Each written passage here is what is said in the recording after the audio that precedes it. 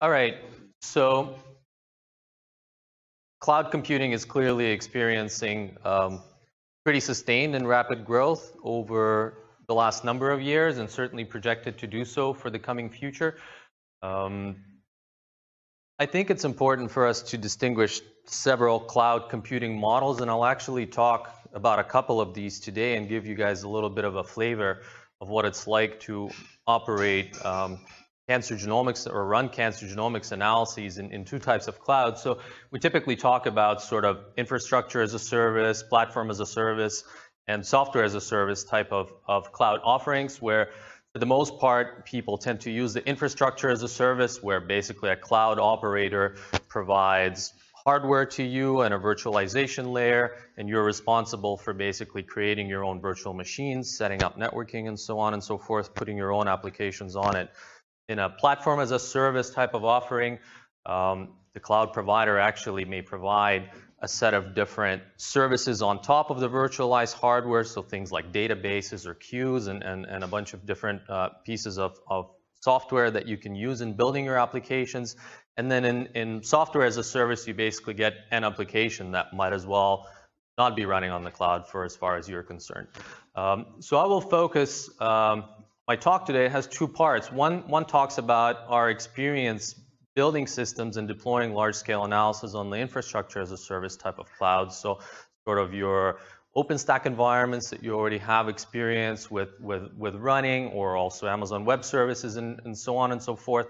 And also an example of sort of a somewhere in between the platform and, and software as a service um, cloud where um, several companies like Seven Bridges Genomics or DNAnexus have basically built platforms and allow you to get access to data and, and run your analyses on them. So I guess this may be a little bit of sort of preaching to the choir, but I think it's still worth articulating some of these points. Um, so in as far as bioinformatics adoption of cloud computing services goes, there's also a lot of growth in this field. I think it's driven by, by sort of several, several different parameters. One of them is, is increased data set size. So we have projects going, you know, running the gamut from something like a 1,000 genomes project, weighing in at about 200 terabytes in size. Uh, projects like pan-cancer analysis of whole genomes, 750 terabytes. The whole of ICGC, the International Cancer Genomics Consortium, is over a petabyte, and now there are projects coming online like the Human Cell Atlas that we're talking about, weighing in at about 50 petabytes. Um, and so dealing with that size of a data set obviously requires quite a lot of computing power, and so clouds offer us the opportunity to be able to do that. Um, the other driving factor is actually the wider availability of cloud computing environments. So certainly um, environments like AWS, Microsoft Azure, Google Compute Platform. These environments are available globally, and so it doesn't really matter where you're operating your research group from. You can you can deploy to one of those environments and, and sort of enjoy the benefits. We have other academic clouds, so the EBI Embassy Cloud. I think you guys have already heard from Dario, or if you haven't, you will shortly. Um, there's also the Open Science Data Cloud in the US that offers similar, similar functionality. There's, of course, the, the de.NBI network. So there's a, a, a group of clouds being built in Germany that will be operated by de.NBI. Um, there's the European Open Science Cloud, a, a pan-European or a, a European initiative, and then environments like I talked about, Seven Bridges, DNAnexus, and so on.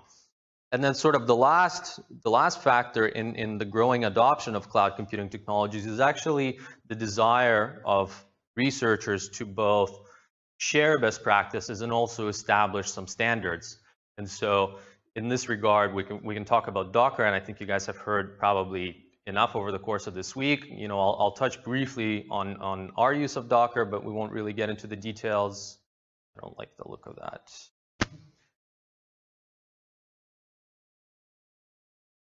Okay. And then we also have uh, the standards body, the Global Alliance for Genomics and Health. So this, this is actually a, uh, an international group that has come together to try to sort of build up the next set of bioinformatics standards and genomic standards that already have built into them this assumption that we're not necessarily open, uh, um, we're not necessarily operating in an institution local environment, but we're operating on the cloud computing environment and we're building large scale systems We're processing petabytes of data. So what does that mean for the types of applications and the types of architectures that we're going to be deploying? Um, so what is actually driving some of the some of the some of the increases around the data set size? Well, first of all, we're we're trying to integrate different data sets. So while a lot of the studies before we, we talked about only doing um, DNA sequencing or RNA-seq or proteomics and so on, there's more and more studies that are basically integrating and using now multi-dimensional data set to look sort of at, at the same problem, whether it be cancer or other disease and so on.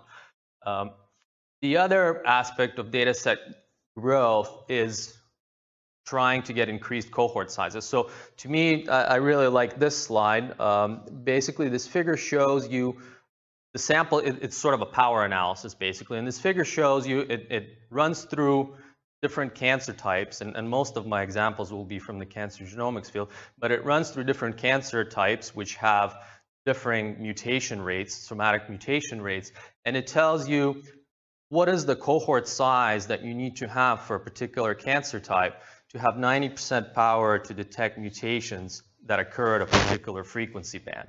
And so as an example, when we're looking at something like melanoma, which has a pretty high somatic mutation frequency rate, if we want to have 90% power to detect genes mutated in greater than 2% of the cases, we need 5,300 samples. So if we're talking about doing whole genome sequencing, this is already double what the, the Pan Cancer Project has done, which know, it's taken people a good four years to get to where they are, and we're only now in the process of writing papers. And so there's definitely the appetite because we want to understand, we want to interrogate those genes, and so we'll be creating bigger and bigger data sets to go after that. So cloud computing skills are increasingly important for bioinformaticians. These are kind of what I think of, of the reasons. So we talked about data set size. We can't download data sets locally for the most part, at least the raw data. Uh, there's actually quite a lot of free compute capacity that is available now. You know, people are building different cloud computing environments. There's a lot of research credits that are going around. And so if you have an appetite for analyzing these data sets, you can really go after a lot of free computing. So I think it's important to be able to take advantage of that. Um, at least you know if, if you don't have a lot of resources. There are some data sets that are becoming uniquely available on the cloud. Um, you know, as we discover with genomic data sets, different countries have different rules about how, what data can go on the cloud or what data can go on different computing environments. And so you actually end up having sort of this um, this network of computing systems where you can only access, for instance, the German data on a German site, the US data on, on a US cloud. And so basically, certain clouds give you an opportunity to access unique data sets that you couldn't actually access in any other way. Um, you, of course, want to be able to use the most recent tools. You want to have maximum impact for your own work. So when you've built your system, you want it to be usable by other people. So you, you, know you end up putting it on GitHub or you end up putting a Docker image and, and, and you want to be able to basically share it with other people. Okay, well, so what shape does do these skills actually take? What is it that you need to know? What are the new skills? So I think there's definitely platform-specific domain knowledge that is required. So every cloud's sort of a bit of a snowflake in, in, in, in sort of the unique ways that it offers capacity or services. So you have you know, your gamut of different cloud computing environments, AWS, Azure, OpenStack, and so on and so forth. They're quite similar, but of course they have their own APIs and the little tricks. Uh, there's a whole DevOps toolkit that you need to be able to pick up because of course when you operate especially on these infrastructure as a service type clouds it's really up to you to manage all of it. You know, the types of things that you might have expected your IT team at your institution to manage in the past, it's really up to you to do that. So this concerns Linux administration, networking, security, monitoring, testing automation, deployment, and so on and so forth. Um, you know, you need scripting skills, um, Python, JavaScript, or whatever it happens to be your favorite language, although I have to sort of advocate for Python in this regard. When I, when I look at the different APIs that are available for scripting and interacting with cloud computing platforms, this is the one that, that I see the, the most. Um, there's a containerization aspect. I won't dwell too much on it. Um, there's this notion of service orientation. So a lot of bioinformatics tools have been built over the years with, with sort of the model of we have a tool that you need to deploy and run on data, but, but the tool exists mostly as code.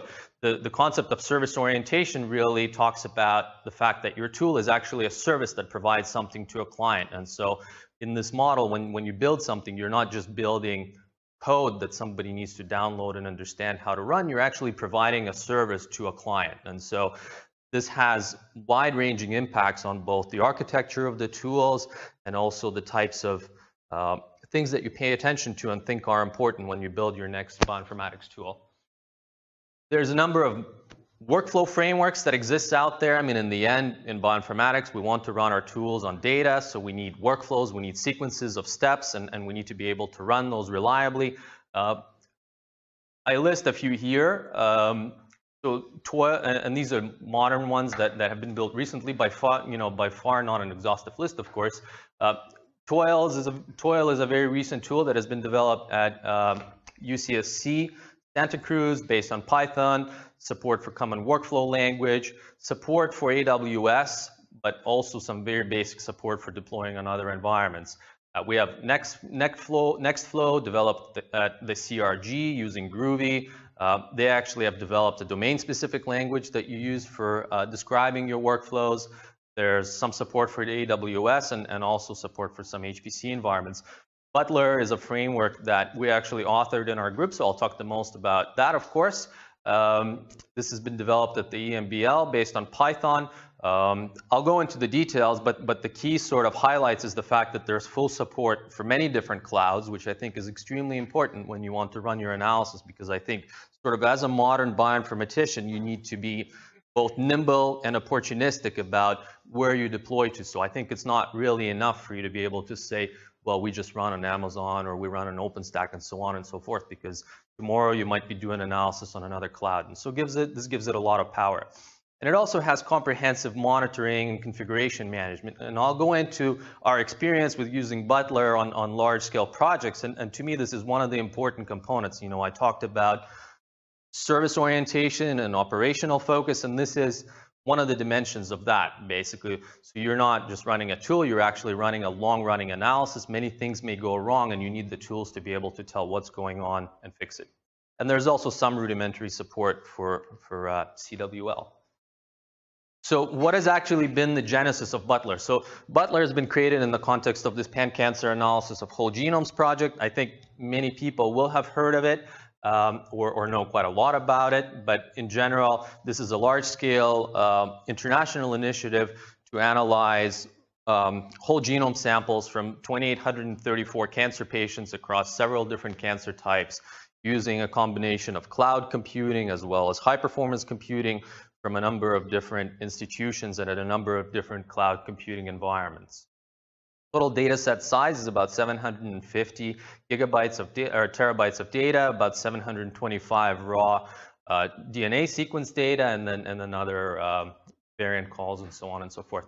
So this is kind of basically uh, um, distribution of the different computing sites and, and what different technologies are used. This is not comprehensive sites have come and gone. I think by some measures, there's been 13 different sites, and nine of them have used cloud computing environments, AWS and, and, and Microsoft Azure, and so on and so forth. But in general, the mix has been probably two-thirds cloud computing environment and one-third HPC. Uh, we're, we're looking at having run about 16,000 cores, 60 terabytes of RAM, and, and so on. This slide here shows you a timeline of progress for the different computational pipelines that have been used to actually accomplish the, the, the analysis.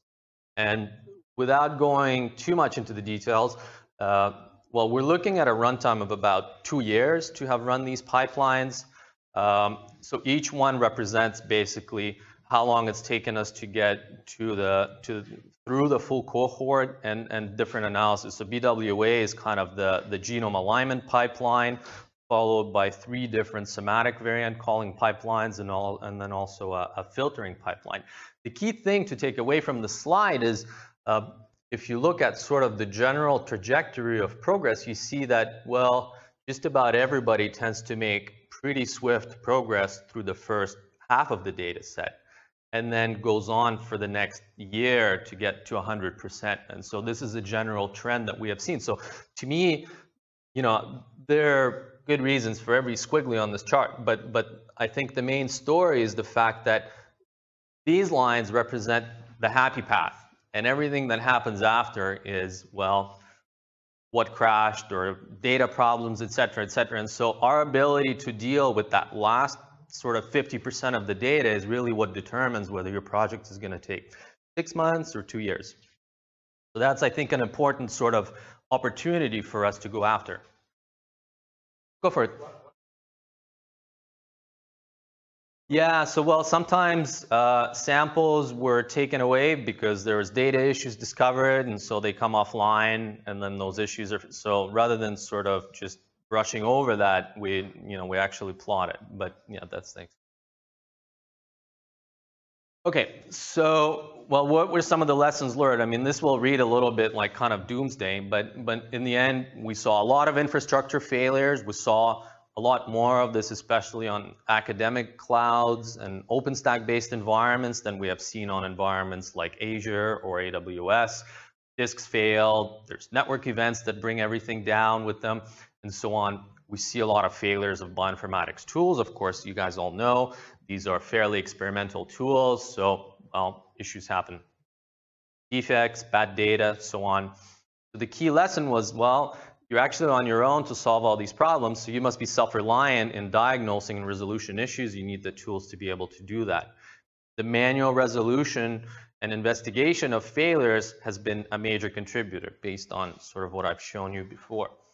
So in trying to deal with some of this, we've sort of I thought about the problem as, as, as having four broad categories of needs for a bioinformatician or a researcher who wants to be able to operate at these scales and in these environments. So we think about one being provisioning, provisioning meaning that you want to be able to create clusters of virtual machines on different cloud computing environments and, and, and sort of have basic setup capabilities to be able to do that. Configuration management, i.e. installing and configuring software on, on these virtual machines. Workflow, of course, so you want to run tools and, and, and um, define dependencies and so on, and then operations management. What does it mean to actually run these for a long time, get to 100% of the data, and, and, and sort of do so effectively. To help deal with those, we have developed this Butler framework. Uh, it's available on GitHub for you guys to check out uh, if you want to run it. Um, one of the sort of key um, design principles behind creating it was to use as much open, so open source software components as are available. And so it relies a lot on different open source projects that are quite active. Typically, they have hundreds of contributors each. And so I think it's, it's sort of a, a, a pretty robust way to develop software, especially in an academic environment where I think building things from scratch uh, poses challenges after you've delivered it. So we're doing provisioning using a tool called Terraform. Um, so this is basically a tool that allows you to define with sort of um, uh, one format, configuration templates for deploying virtual machines on different cloud computing environments. I mean, I'm showing five here, but the list is more like 30. But it definitely covers all the major ones and then some more esoteric ones. This allows us to create and tear down clusters, to define network topology, define basic security, template things, allows us to create our infrastructure as code. I mean, other people have mentioned this, and uh, I'm also, of course, a big believer in this paradigm. Uh, configuration management is accomplished with SaltStack. Uh, I'm not sure if you guys have already had the, the talk about Ansible. This is very similar to Ansible. Uh, basically allows you to create recipes for software configurations. It has uh, a management node that oversees the configuration state basically of all of the virtual machines in your cluster. And you're basically using uh, a declarative configuration language to say what are the different pieces of software that need to be on different machines and what state they need to be on, versions, dependency resolution, and so on and so forth. Uh, it's sort of based on this paradigm of being able to define what the different states are that infrastructure should be in, um, having a, a, set of virtual machines that can be given different roles, and then having a mapping between the roles that you give and the different states that exist in something that's called a top file. And so the sort of the overseer machine will, will We'll look at the role mappings, and then we'll bring the infrastructure into the state that you've specified that it should be in. We use a component called Apache Airflow. So this is an uh, Apache incubation project, uh, but this is this is a framework that has been developed at Airbnb and used in quite some large-scale projects. Um, so this is a, a, distributed workflow system. Uh, it lets you create workflows as directed acyclic graphs. Uh, each workflow is a Python program, so you basically get kind of the full capabilities of Python to be able to define the types of things that you can do, which I think is very powerful. So it can be both simple, you know, you basically just define dependencies between tasks, but you can also use any of the Python libraries and so on. Um, a key sort of assumption that is made in Airflow is that each workflow task within this graph is an individually packaged and run Python program. And so this allows us to achieve pretty good scalability by basically releasing the assumption that different workflow steps will run on the same machine. And so I'll show you a little bit more under the hood of how, of how it works, but because you've released those assumptions, you can basically randomly assign tasks to machines. And so when machines drop out, you, you basically don't end up having jobs that are stuck. You don't end up having to meet those requirements. Uh, and there are many integrations with Airflow, with different modern data stores, compute engines, using things like Spark, Hive, and so on. Um, this is actually a diagram of the workflow execution engine. Uh, it runs um, a virtual machine that is responsible for hosting the workflow engine and scheduler. The scheduler will look at the different workflows that you have defined and sort of set off it will, it will figure out which tasks are runnable at any given point in time, and it will stick those tasks into a distributed queue using RabbitMQ at this point.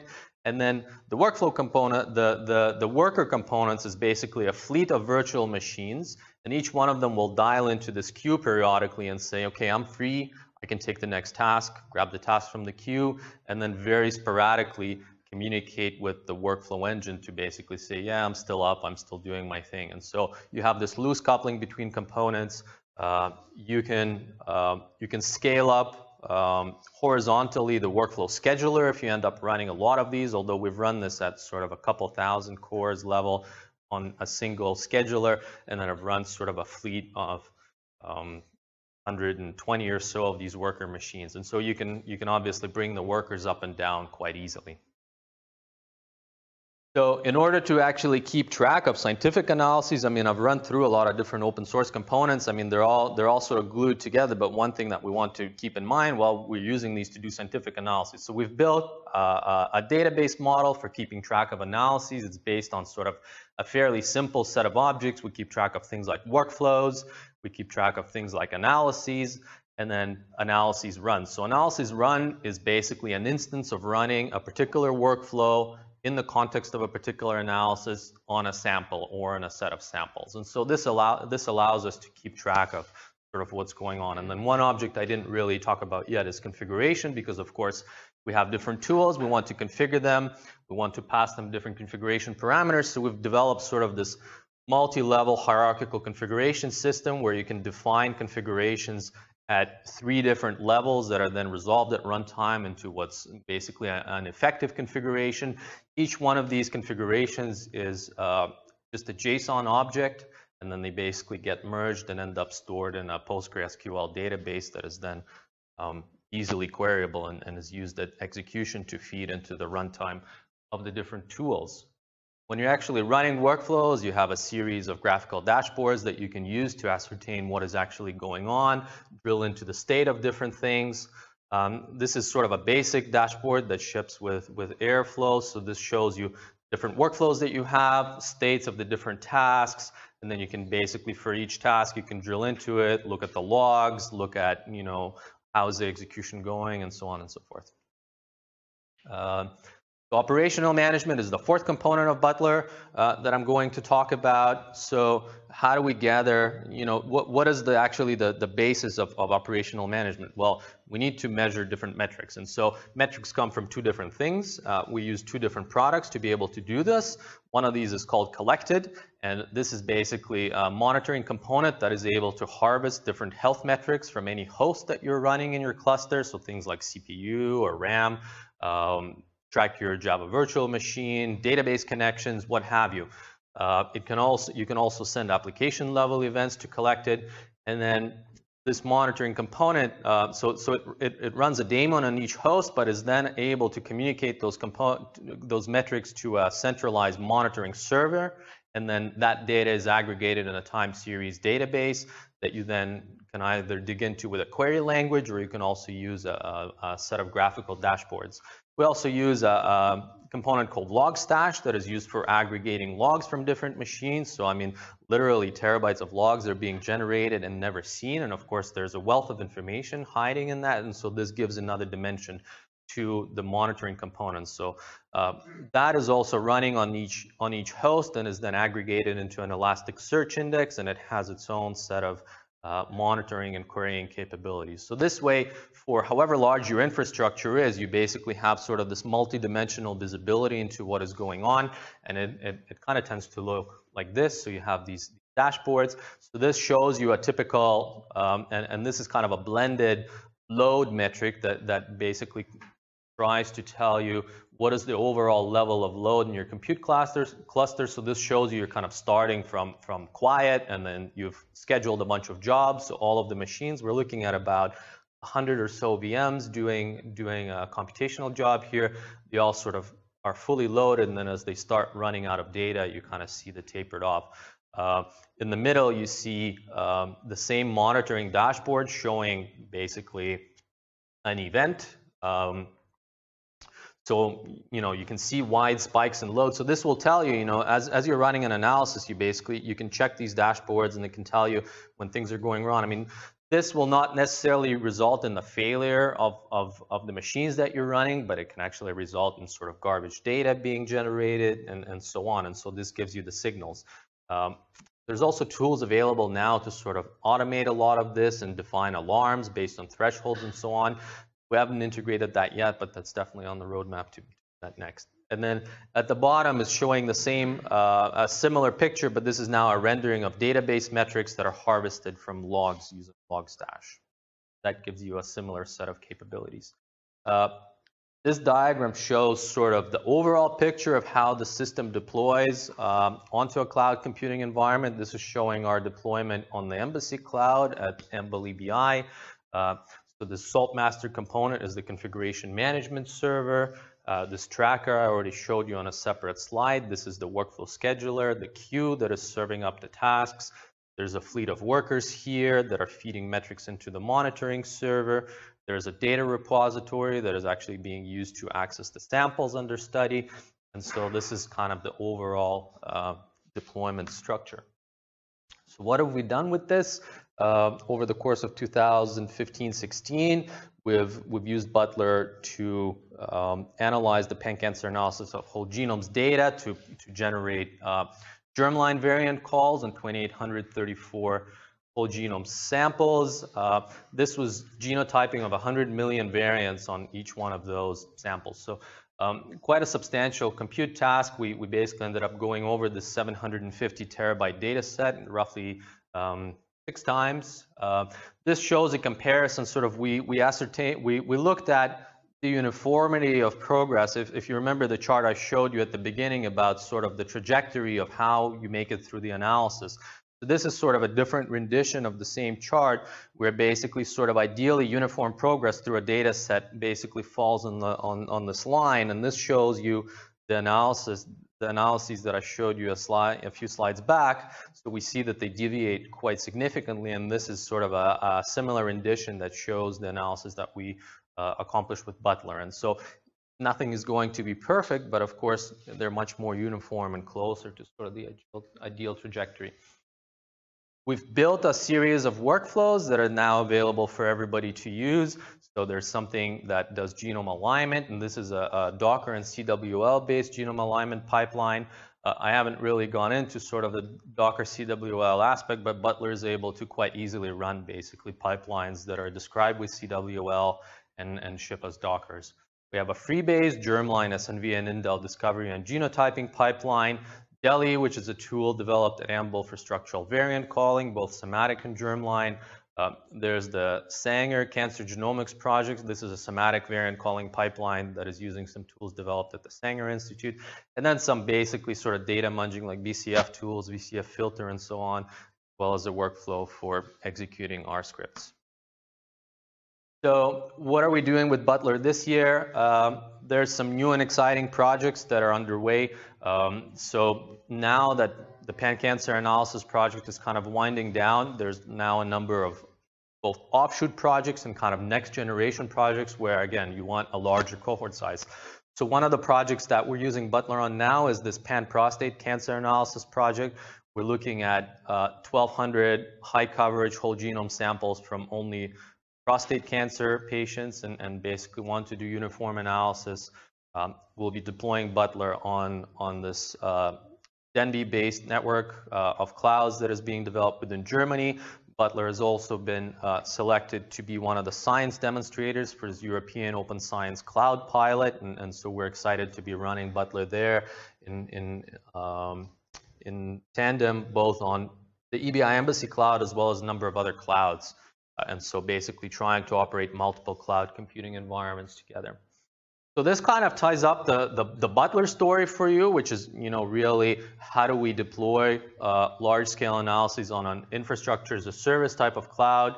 So we know that clouds democratize access to large-scale computational resource, i.e. it allows institutes without uh, really large internal resources to still undertake large-scale analyses. They facilitate sharing of data and methods. Uh, I think bioinformaticians need a much wider variety of technical skills now to be able to operate effectively on cloud. I think Butler provides that functionality in sort of the four key areas that I talked to you about, provisioning, configuration, workflow, and operations. And to me, one of the sort of salient points that, that I'll continue driving, trying to drive home from PCAWG is that running real analyses, real large-scale analyses shows that operational management is really the key component in all of this. I mean, I think we can all sort of create jobs and launch them and so on and so forth. But if you're running a large fleet of virtual machines that is exercising several thousand cores, you really need the visibility into what's going on both at very fine grain as well as coarse grain levels to be able to get through your entire cohort in time. So that's the first talk. If anybody has questions about Butler specifically, maybe it's good to take a pause for two minutes now if you have questions, but we can also discuss this later. And I will now talk afterwards about sort of uh, another, another case study for doing analysis on the Seven Bridges Genomics Cloud.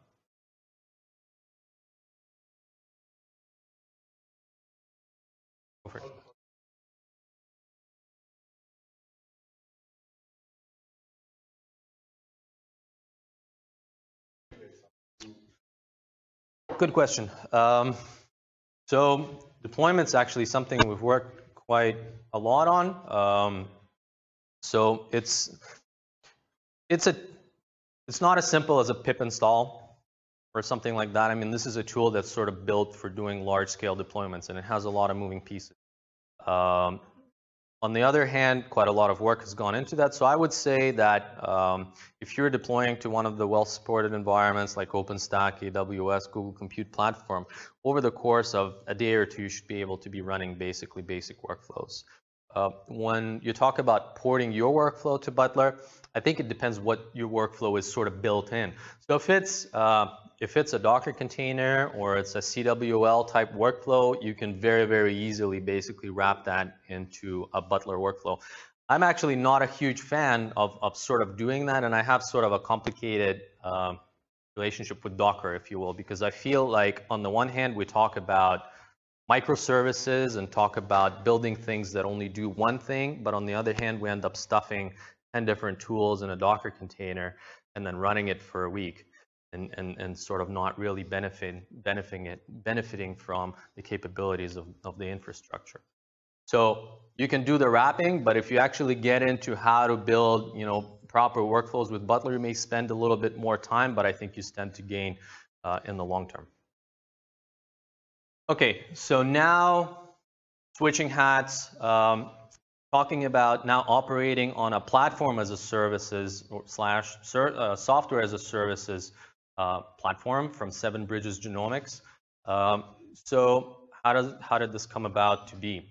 Um, well, The United States has, has done a lot of work over the last couple of years about bringing genomic data that they have sequenced in, this, in the context of projects like Cancer Genome Atlas um, into sort of the modern cloud computing age.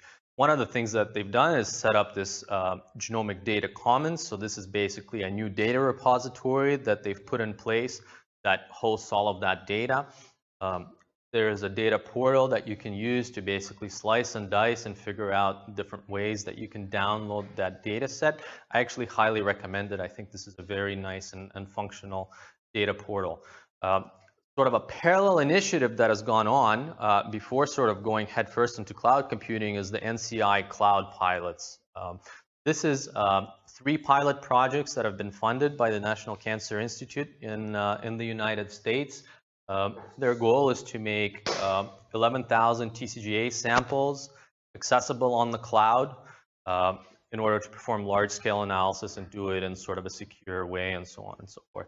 So these have been, the awards for these pilots, which have been running for a couple of years now, have gone to Seven Bridges, which has built a system based on Amazon, to the Broad Institute, which is using Google Compute Platform, and uh, Institute for Systems Biology that is also using Google all of these environments have now gone online, and so they basically, each one of them offers you a platform as a service, a software as a service rendition of the TCGA data. And so um, these were launched in 2006 and have been uh, renewed for additional funding. So they will stick around for some time. We have chosen uh, to use uh, the Seven Bridges Genomics Cloud. This is not really an, an endorsement necessarily of this platform, but I talked earlier about sort of this opportunistic um, taking advantage of, of free compute or data sets to go after analyses that would otherwise be difficult for you to do.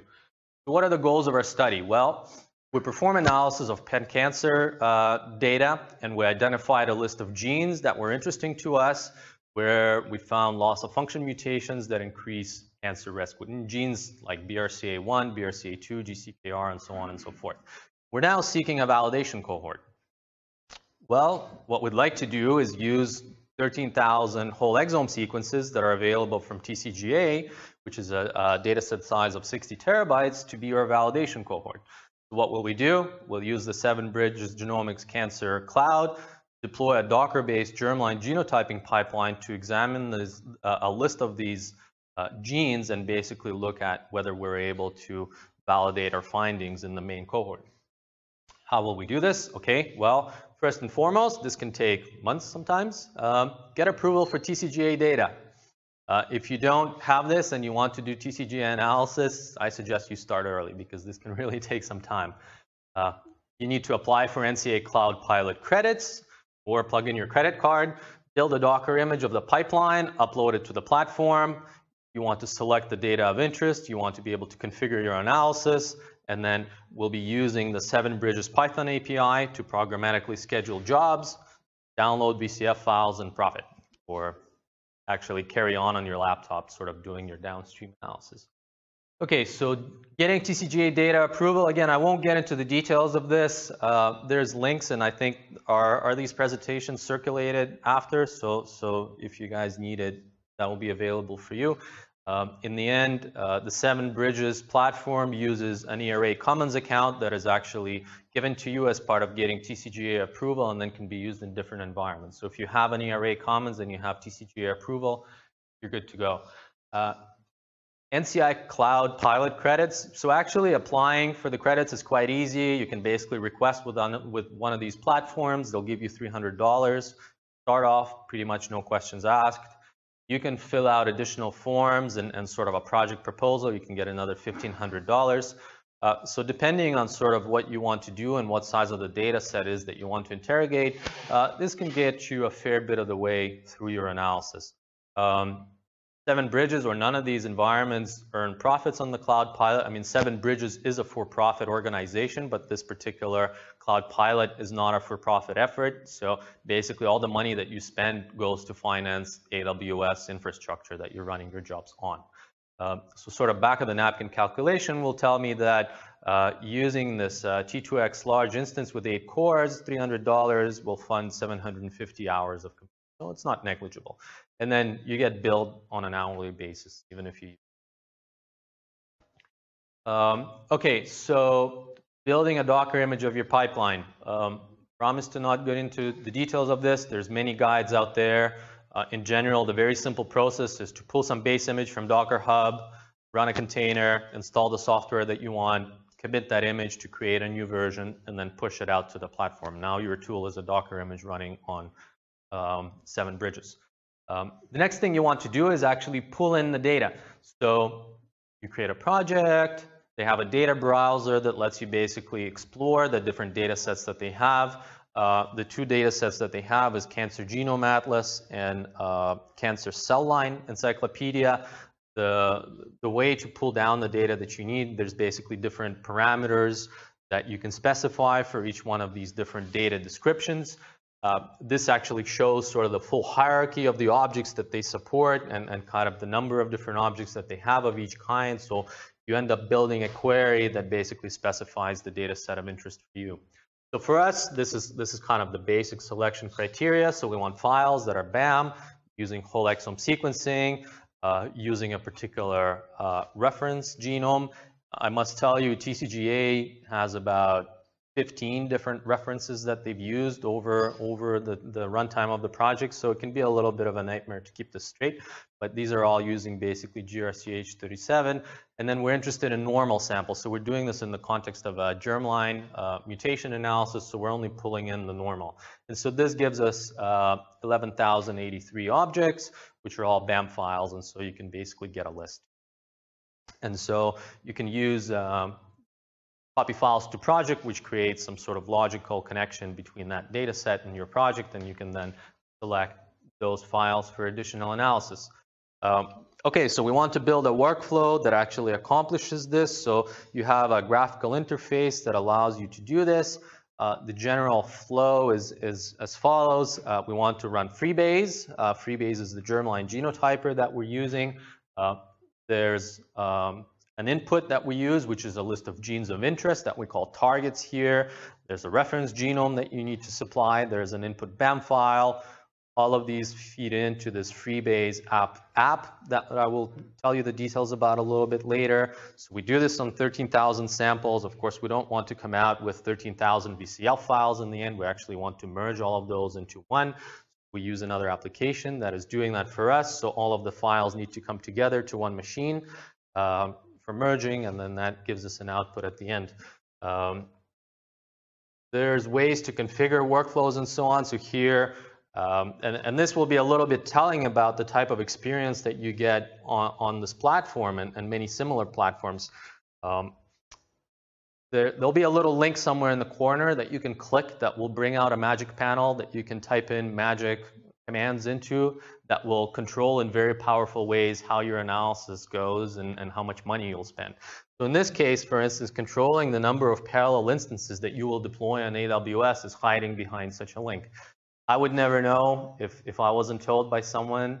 It's in the docs, but the docs will be, you know, a thousand pages that you need to read. So, so I think this is kind of, for now, the reality of how some of these, how, how these platforms operate.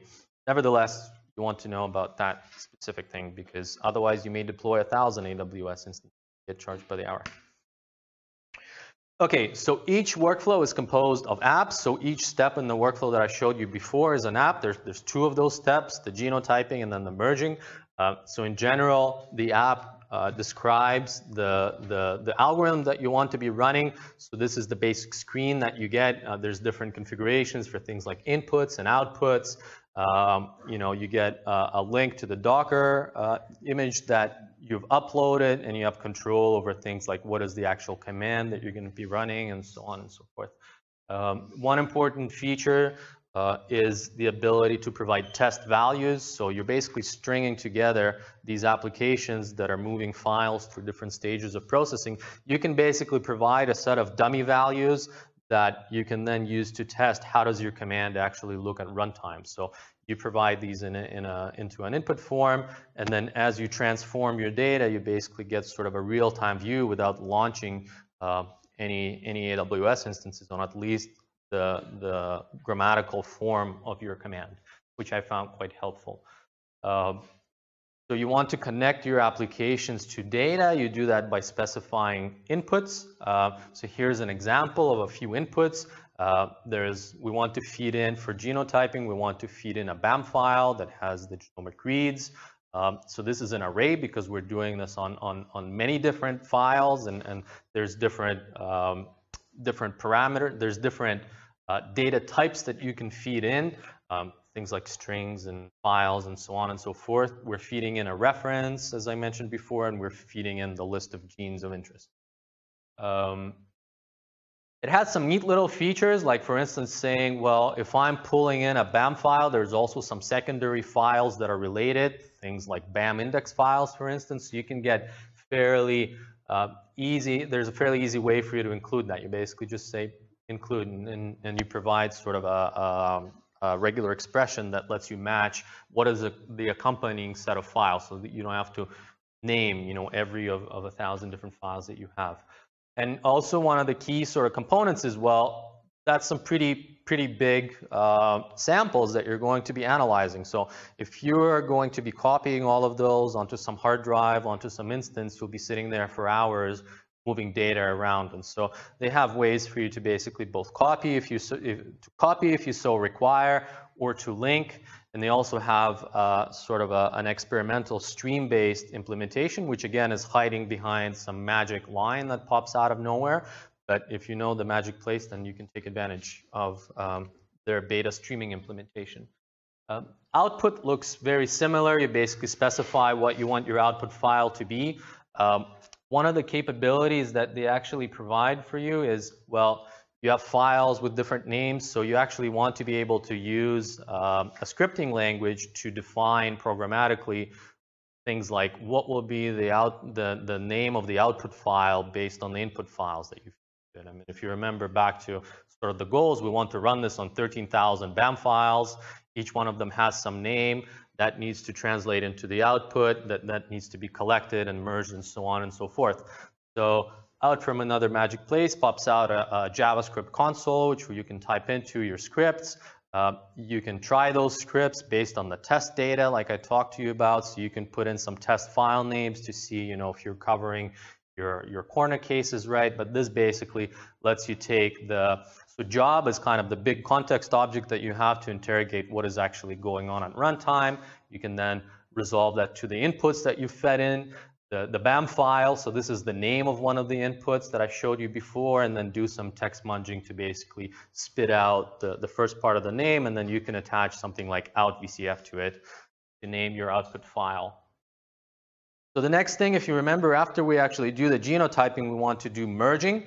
Uh, so how does merging work? I mean, if you'd imagine we had multiple instances running, each one of them processed a BAM file. We now need to assemble 13,000 uh, VCF files onto one, onto one host and then do the merging. Well, it's a little bit sort of, well, it's a little bit hacky, but this is how they suggested we do this. Um, we basically need to compile well, first of all, you need to do things like indexing the files and, and zipping them and so on and so forth. But then you, you need to compile a sample list that you can then feed into a tool like BCF Tools. And so we're using the same kind of utilities of the JavaScript engine uh, and, and the command that, that they provide you to basically string together a number of invocations that first compile the sample list and then invoke BCF Tools. So this is basically us uh, again, using a list of 13,000 file names to generate the bgzip and tabix commands that will do um, the, the indexing, running those. This is kind of an example of, of what that file might look like using test values, and then doing the same for li basically listing a set of VCF files that will be then used for merging. Well, okay, how, we've defined all of these things. The workflow is there. How do we actually run it? So it turns out that using a graphical user interface to manipulate 13,000 files doesn't always work really well, which both I discovered and they discovered when I discovered it. So the best way to do this really is using the API. So this is where you know your Python skills uh, come to the fore. So they have a pretty pretty nice Python API that you can use to do this programmatically and basically bypass uh, most of the graphical user interface, which I think the more you run real analysis, the more you tend to start relying on as much as possible to do your actual coding. So I'll walk you very, very quickly in the interest of time through sort of how that comes together. So we basically import their, their, um, their API module, um, initialize an object that we use to interact with it. We want to be able to, uh, here on lines 2 through 14, we want to be able to find the actual project in the context of which we're doing uh, this work. There are some parameters that we're going to be supplying to this at runtime, like what is the actual list of references. So we want to build a set of input files. If you remember, I selected from all of the data a subset that I brought into my project. Now I need to create actual tasks that will do the work based on sort of further selection criteria.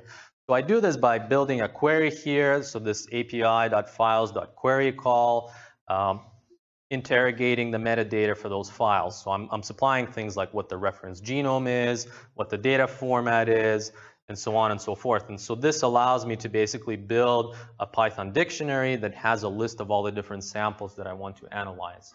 Um, using all of those, I'm doing some back of the napkin calculations on, if you remember, you're paying by the hour, you can only do a certain amount of computation on, on any given host. And so you need to do some calculations about how you actually optimize your resources. So uh, uh, part of the script basically just says, well, this is how many samples I want to do. This is the number of cores that I'm using, so on and so forth. I, you know, this is kind of an optimal configuration that I can use to make the best usage of, of the money that I have. And so we're basically calculating how many tasks to stuff in to any given host so that we're where our job will take us close to an hour, so we can actually take full advantage of the by the hour building. Okay, well, after we've built all this up and we've partitioned the data into these tasks, we can basically run through those and then start creating these task instances, not really kicking them off. I mean, I'm not really a big fan of saying I'm going to have a script that will now launch hundreds of VMs that will go and do stuff for me. I mean, very slight bugs can cause you to lose a lot of money doing that. So what this is really doing is it's creating task instances that you can then go off and, and run yourself, which I think is sort of the preferable and safe way. So once you've done that, you get a list like that. You can go on, you can kick these off. This is basically sort of the details of what one, one task looks like. So one task pulls in about 1900 BAM files onto a single host, does the genotyping, and, and basically spits those out. Okay, okay, kick it off. Once you kick it off, you get some, some monitoring capabilities where you can see. So each one of these is, is, is an individual job that is being run on your hosts. You can basically kind of see how they're faring, how they're assigned to different hosts and so on and so forth. And then this is a view of the actual fleet that you have. So I'm running this on 10 instances, took 15 minutes to run.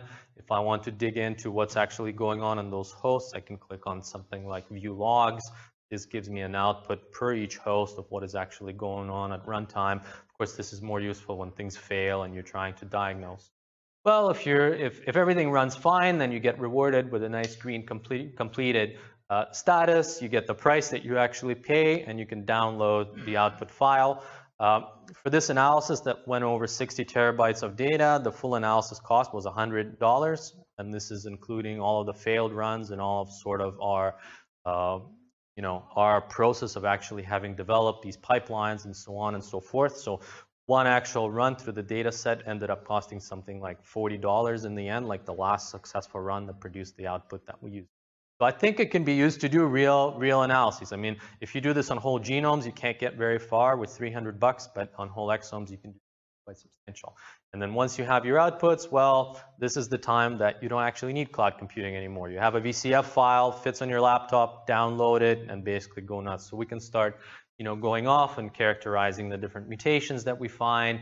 We can start looking at what are the loss of function mutations and, and the sort of different mutation impacts using something like variant effect predictor and sort of go on go on with our life post you know post this cloud deployment. Okay, so that's the overall story. So what were the key lessons learned? Okay, well, unlike infrastructure as a service where things are relatively um, um, relatively the same between different cloud providers with some different formats, well, each platform and software as a service is very, very different. And so each one has its own learning curve. So if you decide to go on and, and, and do real analysis on those, it's real investment that you have to make and that you know you won't be able to carry anywhere else. So that's like a real cost, basically. Uh, support for Docker CWL allows the easy ingestion of your custom pipeline. So this was this is something that worked really well in this context. Basically, within like an hour, we're able to take our pipeline, integrate into some Docker containers, ship it off, and it's, it's basically running on there. The user interface can be quite sluggish and buggy when dealing with large number of files. Um, and operating on these large data sets sort of often breaks these pilot platforms. So they're typically built you know, with, with also pilot use cases in mind. And when what you want to do is run your analysis on the whole of TCGA, start discovering a few icebergs. So I think you should build into that your, into your plan for when you do. Ability to use the API directly certainly allows us to work around above issues and, and has a few other benefits.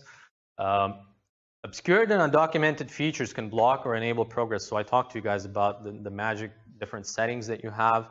Um, there were a few parts of this analysis where I would have never known or found the solution if I didn't have somebody to talk to.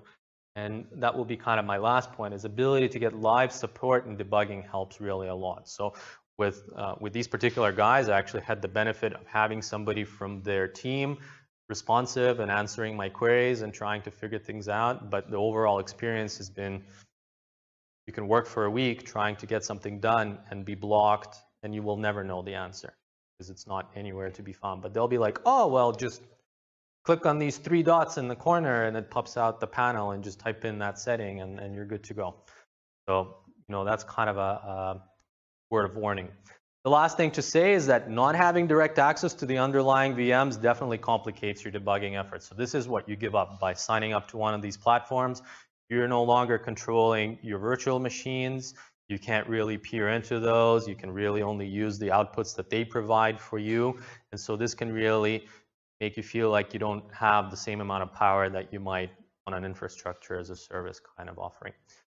So that's the end of my story. Uh, many acknowledgments to make, both in EMBL, EMBL EBI, Seven Bridges, as well as funding from uh, uh, European Commission and yeah. Thanks.